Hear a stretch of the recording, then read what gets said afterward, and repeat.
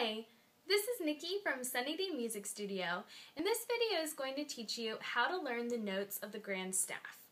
Um, this is the first step to learning how to read music, and it's vitally important for anybody who wants to be an instrumentalist to get this down. So let's get started. This is what we call the grand staff. And the grand staff is comprised of the treble clef and the bass clef. The treble clef contains notes that are um, higher in nature, ones that are above middle C. Um, and the bass clef, like the bass in a band, uh, covers most of the low notes. So you'll see that these clefs have a number of lines. Um, there are one, two, three, four, five lines in the treble clef, marked in green there one, two, three, four, five lines. And in between those five lines, there are four spaces. You can see those marked in red. One, two, three, four spaces. The bass clef is just the same. It also has five lines and four spaces. Each of these lines and spaces correspond with a different note on the piano. So this first line on the treble clef is the letter E, the first E above middle C. The first space, which is marked in red here, is the next white key on the piano. So we started on E on the line, F is our next note. If we go up to the next line, line 2, that is a G. So space 2 is the next note on the piano. What's the next note after G, the next white key? A. E, F, G, A. B, C, D, E, F. We go in order using the musical alphabet, um, alternating back and forth from line, space, line, space. So on a piano, if you start on E, that's a line, F is a space, G is a line, A is a space, B is a line, C is a space. It goes like that on all of the white keys, up and down the piano. So there's definitely a pattern and some order to what we're looking at here. Now, trying to memorize them just by thinking, oh, the third line of the treble clef is a B, and the fourth space of the treble clef is an E is just going to be a waste of your time. It's going to be more time consuming than a lot of the tricks that have been developed over time. So let's talk about some of the most common ways that people remember the lines and spaces. Okay, so first off, let me show you the difference between what a line and a space note look like. Um, so here is a great example of a note that's on a line. Um, when I say this is on a line, I'm talking about that oval part of the note, not the stem. Don't look at where the stem starts or ends. It's the note itself that's important. And if you look at this note, you'll see that the line goes right through the middle of it. That's what makes this a note that's on a line, when the line goes right through the middle. Now, notes that are on spaces instead have lines that go either above or below or on both sides of the note. So this is a line that's on a space because there's not, this is a note that's on a space because there's not a line going through it. So spaces and lines. Okay, so let's start off by talking about the spaces of the treble clef. Now the letters of the spaces of the treble clef are F, a, C, and E. Um, F, and then G is the line, so we skip that. A, skip B, C, skip D, E. So you can see it follows along with the piano, just skipping a note. F, A, C, E. Lucky for us, it already spells a word, face. F-A-C-E, face.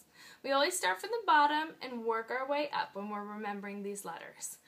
So let's take a look at some of my flashcards. These are the best way to drill notes. You can order them online. I think this set costs like five bucks. Go to the music store and pick them up if you would prefer to do that. These are going to be really helpful for drilling these notes. So, if we think of our word, what's our word? Do you remember? Face. Okay. So, remember start from the bottom. So this is the letter. Let me see if these, yeah, they're not in order. Okay. Take a stab at this one. Remember, start from the bottom. What's our word? Face. F A C E. Okay, see if you get this one on your own. Did you say A? Hope so. Last one. It's C. F A.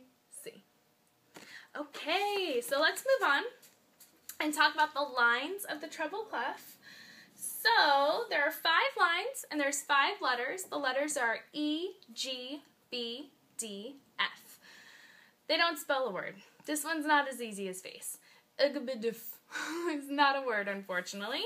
So I come up, uh, or people over time have come up with a bunch of different phrases. This is one of my favorites. So E for elephants, G for get, B big, D dirty, F feet. E G B D F elephants get big dirty feet. Elephants get big dirty feet.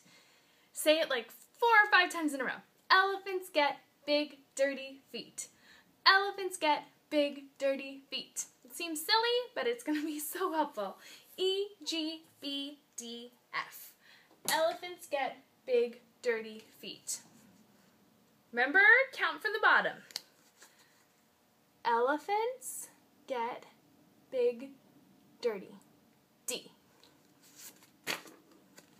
What's this one? G. Remember, start from the bottom. So this would be E for elephants. Uh-oh. Try this one. B. Last one. Did you say F? F. Okay, great. Okay, so we've done the treble clef. We're halfway through. Let's talk about bass clef. So, bass clef spaces, we're looking at the letters A, C, E, and G. My favorite way to remember this is all cows eat grass. All cows eat grass. All cows eat grass. A, C, E, G. Flashcard time. Remember, start from the bottom. Bass clef is the same as treble clef. You always start from the bottom. So, all cows. C. How does it start again? All. Oh my goodness. okay, how about this one? All cows eat grass. G. Last one. E. Okay, almost done. Let's talk about the lines of the bass clef. This happens to be my favorite phrase. The letters are G, B, D, F, A. And this phrase corresponds with one of my favorite foods, which is burritos. So, good burritos don't fall apart. Words of wisdom. So true. G, B, D, F, A. Good burritos don't fall apart. Good burritos don't fall apart. Okay, let's see how you do. Remember, start from the bottom. Good burritos don't fall. F. You tell me.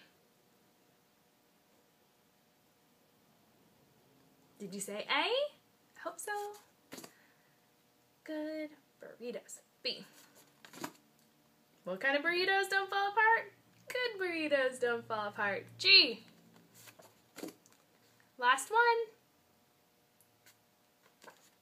D. Okay, the last thing I want to talk about are a couple pesky notes in the middle of the two staff, uh, the treble and the bass clefs, that can be a little tricky.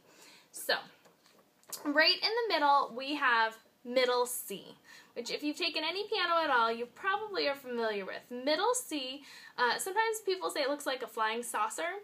It's got um, a line going through it. It's not a full line though. It's just going to be a little line. Let me show you an example. This flashcard shows you what middle C looks like. It doesn't have a full line. It's not part of one of our other phrases. It just has that little ledger line. Um, and the stem can either go up or go down. I don't think I have an example of the stem going down, but the stem can also go down and it can be closer to the bass clef. Both are middle C. Anytime you see a note with a line in between the two staff, the two clefs, it's going to be middle C until you get into some trickier stuff. Middle C. Now, if you look at C on the piano, look up one note Go higher one note, and you'll have D. If you go lower, you'll have B. B, C, D. C is in the middle. One note lower is B. One note higher is D. These don't go along with our other phrases, and they come in the middle, um, and they can be a little tricky to remember.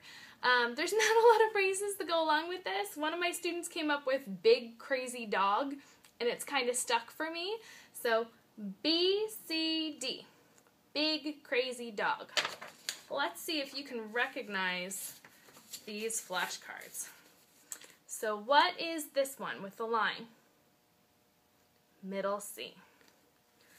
This one is lower. So our phrase starts with this. B. Last one. D. So those notes come in between the treble clef and the bass clef. They're right smack dab in the middle of the piano.